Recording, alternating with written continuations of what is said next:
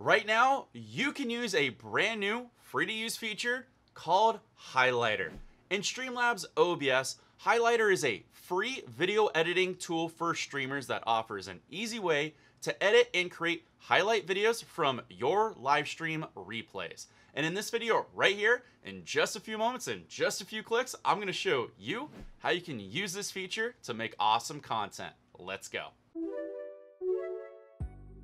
What is up, Wild4Games, here to make you bigger and better with everything Streamlabs. Now, Highlighter is a free and easy to use editing tool that gives you the power within just a few clicks to make adjustments to create awesome highlights that you can directly load to your YouTube channel without leaving Streamlabs. So this way you can share it with your friends and viewers immediately when you're done streaming.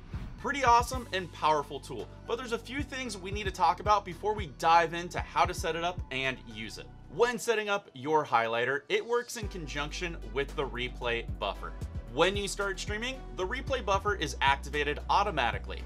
At this point, you can press your hotkey at any time and Streamlabs OBS will automatically save and store your captured clip in the highlighter tab. However, one great feature of replay buffer is you don't actually have to be streaming to capture clips. After you've gone through the setup process of Highlighter, you can also manually activate the replay buffer and Streamlabs OBS will still capture and store any replays you want to save without actually having to be live. To do this, simply click on the Start Replay Buffer next to the Go Live button. Now open Streamlabs OBS and click on the new Highlighter tab from the navigation on the left hand side. Click on configure to enable replay buffer automatically. Set the replay capture duration. You can record up to two minutes or as little as one second.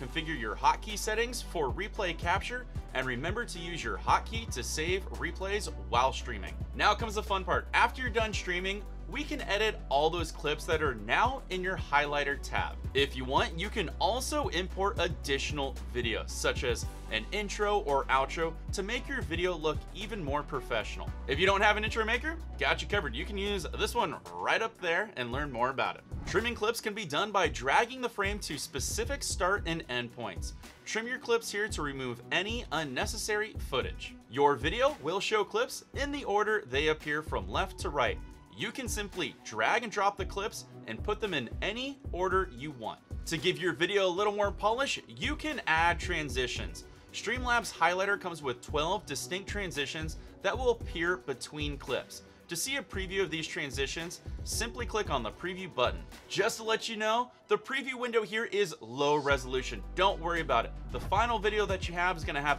better frame rate, resolution, and quality. You can add background music browse and upload your own music files to add them to your video. Please remember, only use music you have permission to so that way you don't get any copyright strikes or anything like that. Once you've added all the polish to your video, we can now export your video. Simply name it, select the export location, and configure your settings. The nice thing about the Streamlabs highlighter tool is you don't have to leave Streamlabs. You can upload directly to YouTube. To do that, add a title, description, and privacy settings before you upload it to YouTube. Please note, if you don't have a YouTube account linked to your Streamlabs account, you'll be given the option to do so.